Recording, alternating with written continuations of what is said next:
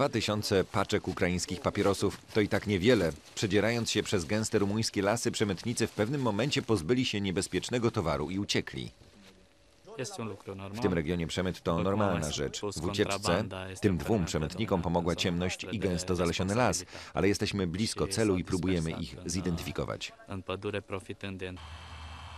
Przy pomocy kamer termicznych sfinansowanych przez Unię Europejską rumuński patrol ma w nocy pod kontrolą całą granicę, ale metody przemytników są coraz bardziej wyrafinowane.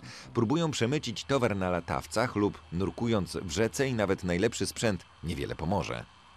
Przemytnicy znają las jak własną kieszeń. Wielu z nich należy do mniejszości ukraińskiej zamieszkałej w Rumunii i ma krewnych po ukraińskiej stronie. Przy granicy z Ukrainą swobodnie można kupić przemycane papierosy. Są tu cztery razy tańsze niż na zachodzie Europy. Na skonfiskowanym towarze przemytnicy niewiele tracą. Produkowany jest nielegalnie w Chinach, Rosji i na Ukrainie. Nazwy marek są fałszowane albo zmyślone. Co roku państwa unijne tracą 100 miliardów euro z powodu tego procederu. Dlatego w przyszłości Unia Europejska planuje zaostrzenie przepisów. Każda paczka papierosów ma być opatrzona pieczęcią, przy pomocy której będzie można prześledzić jej drogę od taśmy produkcyjnej do rąk klienta.